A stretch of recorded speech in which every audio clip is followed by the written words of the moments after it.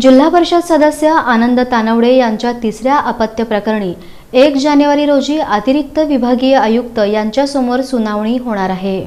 वागदरी जिल्हा परिषद मतदारसंघातून निवडून आलेले जिल्हा परिषद सदस्य आनंद तानवडे यांना तीन अपत्ये असल्याबाबतची तक्रार प्रतिस्पर्धी पराभूत उमेदवार अप्पासाहेब बिराजदार यांनी अतिरिक्त विभागीय आयुक्त पुणे यांच्याकडे केली होती.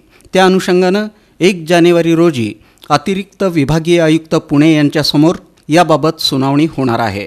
याबाबतचं पत्र अतिरिक्त विभागीय आयुक्तांचे वरिष्ठ सहाय्यक जे पी महामुनी यांनी दिलं. दरम्यान या सुनावणीमुळं वागदरी जिल्हा परिषद गटात एकच खळबळ उडाली. या संदर्भात पराभूत उमेदवार तथा तक्रारकर्ते अप्पासाहेब बिराजदार यांनी अधिक माहिती दिली.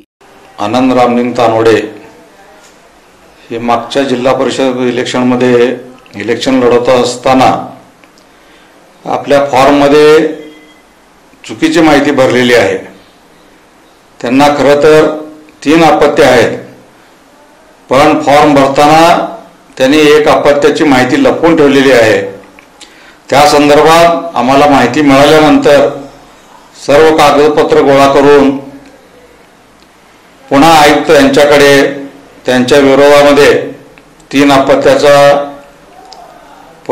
पुराव्यानिशी गुन्हा दाखल करावा व त्यांचे जिल्हा परिषद सदस्यत्व कॅन्सल करावं म्हणून त्यांच्या विरुद्ध अपील करण्यात आलेले आहे. तर एक जानेवारी दोन हजार एकवीसला पुण्या येथे आयुक्त साहेबासमोर याची सुनावणी होणार आहे. आणि या सुनावणीनंतर पुढच्या एक दोन तारखामध्ये त्याचा निकाल लागेल. आणि मला खात्री आहे आमचे सर्व पुरावे पाहून आयुक्त साहेब योग्य तो निर्णय देतील.